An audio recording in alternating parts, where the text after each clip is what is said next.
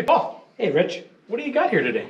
Well, we have a couple of E-Drive ball screw actuators. Uh, on the left, we have a 200-pound force-rated actuator, and on the right, we have a 2,000-pound force-rated actuator. Well, that sounds like a lot of force. It's a lot of force. How big do these things get? We go all the way up to 100,000 pounds of linear force. Wow, 100,000 pounds. That's that's putting a press on some things, huh? Certainly is, yep. What kind of applications do you typically see these in? So a lot of uh, applications are hydraulic replacement, uh, where people are looking for more control.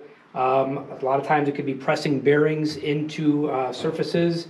Uh, a lot of high force where you need um, to hold up a lot of vertical mass, um, or pushing products like say cheese through a harp uh, is a very common use for uh, ball screw actuators. Okay. Yeah, I, I can imagine that you replacing hydraulics with this is a lot cleaner of a situation. Definitely, uh, the electric actuator doesn't leak, uh, which is important sometimes, especially when you're around uh, flames, open flames. A lot of uh, aluminum uh, manufacturer, they try to keep uh, um, hydraulic fluid away from that to prevent problems.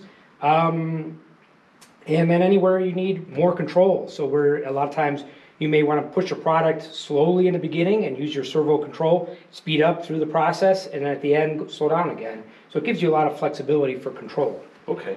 So this is creating the force obviously through a mechanical means, right? We've got a we've got a ball screw here, and that's how we're creating that that force with the with the motor driving that that Right, so screw. You're correct? getting a mechanical advantage with the screw. Uh, E-Drive in particular has a very large ball nut that they use, um, and a larger diameter ball screw.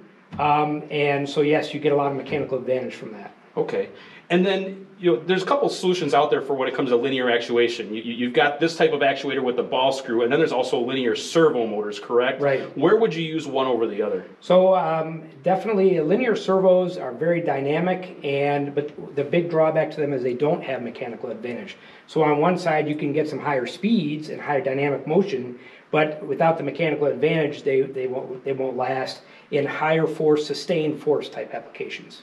Gotcha, gotcha. So if, if we have to continue to press, this is Yeah. a this is a better if you're solution. gonna hold up even if you're gonna hold up 500 pounds of mass for any length of time, a linear servo really isn't a good choice for that. Uh, where a, where a ball screw now you have the mechanical advantage, the servo motor's not working very hard to do that. Okay.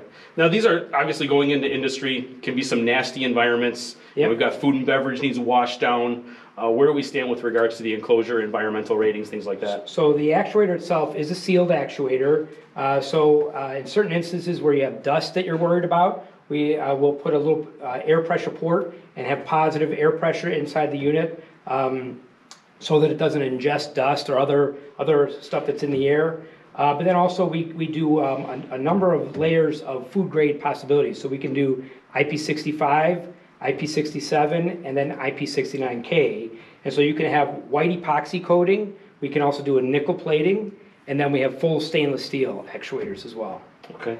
Any kind of special applications that you think of as, as far as measurement, things like that? It seems like testing would be a good solution here. Testing a lot of a lot of high pressure, high force testing where they want the ac- accurate feedback.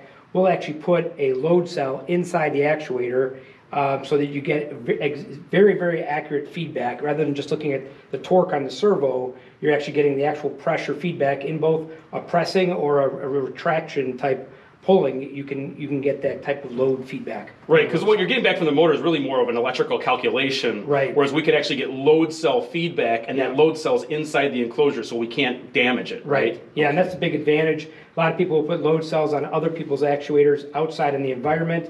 Very possible it can get damaged um, during normal operation. Putting it inside the actuator protects the load cell, uh, and it helps us to give very, very accurate feedback on, on how much force you're using. Great, great. The other advantage um, eDrive has is we do have a, a grease zerk on our ball nut, so we can re-grease the eDrive actuator in the machine. Where you might find a lot of roller screw actuators, they have to remove the actuator from the machine, ship it back to the manufacturer for re-greasing. So that's likely not going to happen very often. So it's a bit of a surgical procedure at that point. Yeah, this, you can send, it using your servo, you could send your actuator to a specific re-greasing position, remove a port, and, and have access to that grease zerk. So, Okay.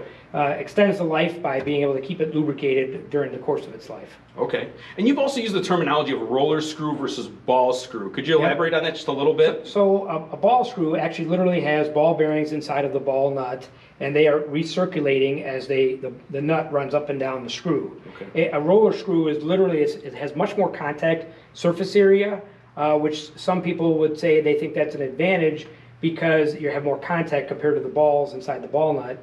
Um, but it can be a disadvantage in terms of generating heat in higher speed applications. So one of the things eDrive does also have a 65 inch per, per second travel uh, actuator. We call it SS454. Um, you're not going to likely see that in a roller screw because of the heat generation. So that's one of the advantages of a ball screw over a roller screw is reduced friction, reduced heat in higher speed applications. Okay, great. Now I see you have an AMCI stepper motor connected to this smaller guy. Yep. I, you know, I come from the world of servos, so a stepper has enough torque to be able to run one of these. Absolutely, again, because of the mechanical, mechanical advantage, and then with the, with the belt drive, we can also do a two to one belt drive, cutting your torque requirement in half. And then it all depends on the application. We'll, we'll do servo when it makes sense, more dynamic applications, but if it's a simple, slower, maybe it's a presetting application or just indexing some, some slow motions, uh, then a stepper is absolutely perfect and a, very cost-effective solution. Right, so we're, we're decreasing the needs that we need on the electrical side of the system Yep. and, and getting it out of the mechanical advantage. Absolutely. Wow. So when it comes to the actual motors, so you have an AMCI motor here. Obviously, PCC is a Siemens distributor. We sell Siemens servo motors. Yep. Uh, does it have to be a specific motor? Does it have to be a specific frame? How does that work? No, so we definitely have adapter plates for the motors of various sizes.